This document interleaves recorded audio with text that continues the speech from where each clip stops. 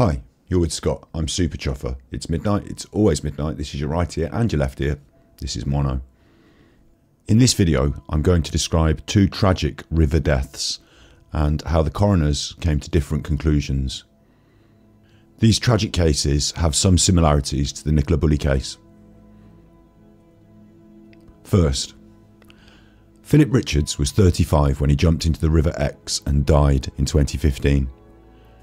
As in the death of Nicola Bulley, the coroner speculated that Philip's death, quote, could well have been some instant event such as the shock of hitting the water. That instance took his life, end quote. Like Nicola Bulley, his phone was found on the nearby riverbank along with his wallet. Like Nicola Bulley, drowning was the medical cause of death. In the death of Philip Richards, coroner Lydia Brown said, his death appeared to have been instant as his lungs had not filled with water, as is normal in drowning incidents. In both cases, drowning was recorded as a cause of death, but this instant death was described instead. In the case of Philip Richards, coroner Lydia Brown told the family, It seems he dived off the quay into an unknown watercourse. There's no sign he injured his head, and there were no marks on his body. Philip had been reported missing earlier that month. It was October, and no doubt the water was very cold after midnight. Philip had sent his sister a text, a tragic message, including the statement Too late, I'm going swimming. Sorry, I've made some bad choices. Time it ended. Later that night, a police helicopter reported a person jumping into the River Exe by the Exeter Quay. They did not resurface after entering the water, and a police dive team recovered Philip's body at 6am. To most people, the circumstances would point towards suicide, but instead a narrative conclusion was given at the inquest. Why was this not recorded as suicide, and why was Nicola Bulley recorded as an accidental death and not narrative? We're going to take a look at the difference in these terms in just a minute. Some remarkable similarities stand out. Coroner Lydia Brown said that Philip's lungs had not filled with water as is normal in drowning incidents. She said his death appeared to have been instant. Quote, it could well have been he had some instant event such as the shock of hitting the water. That instance took his life. Drowning was the medical cause of death, but there was no sign of a struggle. He intended to go into the water, but we don't know if he was trying to get away from the police if he was making a gesture or was desperately and deeply upset. Thus, a narrative conclusion was given. Coroner can give one of 13 verdicts. Accidental death is where the cause of death was unnatural but not unlawful. Misadventure is where someone was doing something lawful but unintentionally kills another. Alcohol or drug related covers both death from poisoning or accidental deaths resulting from abuse of alcohol or drugs. Industrial disease is used when the coroner is satisfied the death resulted from a disease caused by work. Lawful killing is a deliberate act, but justifiable, like self defence. Unlawful killing ties in with criminal proceedings and is the correct conclusion in cases of murder, manslaughter, and infanticide. Natural causes reflects the normal process of disease. A road traffic collision is the result of a death that involves a vehicle. Stillbirth relates to the death of a child. Suicide is taking one's own life. Neglect is where basic medical attention has not been provided to somebody in need. Then we have narrative conclusion, which is in place of the short form conclusions already listed, the coroner can give a narrative conclusion, a brief explanation of the facts, explaining how the deceased came by their death.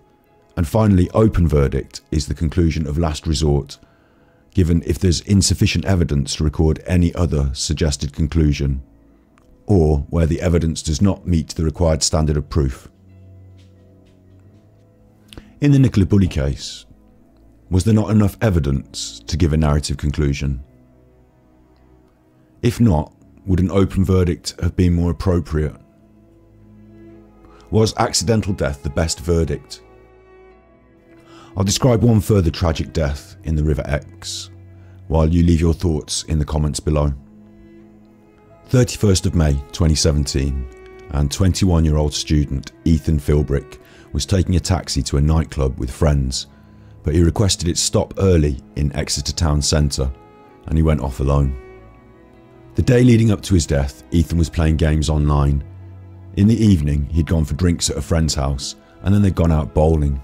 His friends said despite drinking vodka and wine on the way to the club, Ethan was not all over the place and still in control. After he left the group, they spoke to him on his mobile phone and were reassured that he was okay.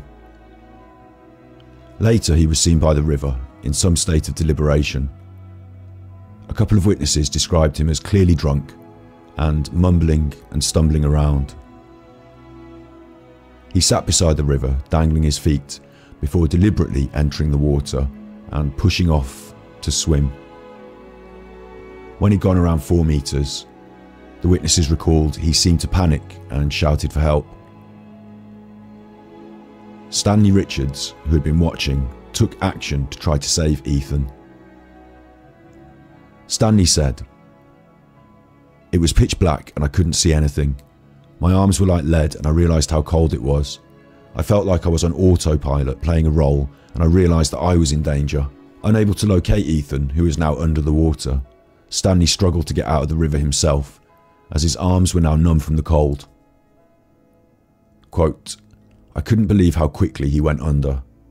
Ethan's body was found close to where he'd been seen entering the river at about 4am in the morning. Ethan had been three times the legal drink drive limit when he died, and the cause of death was confirmed as asphyxia due to drowning. Recording a verdict of accidental death, Coroner John Tomalin said it's unclear why he got out of the taxi, and also unclear why he found himself down by the river. Just like Nicola Bulley, the verdict was accidental death. Unlike Nicola Bulley, there were witnesses.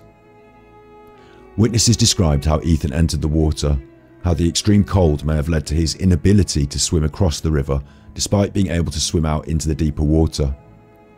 It makes sense, and the accidental verdict is given rather than a longer narrative verdict because we know how Ethan died, but not why. No one knows what compelled Ethan to enter the water. The verdict was accidental.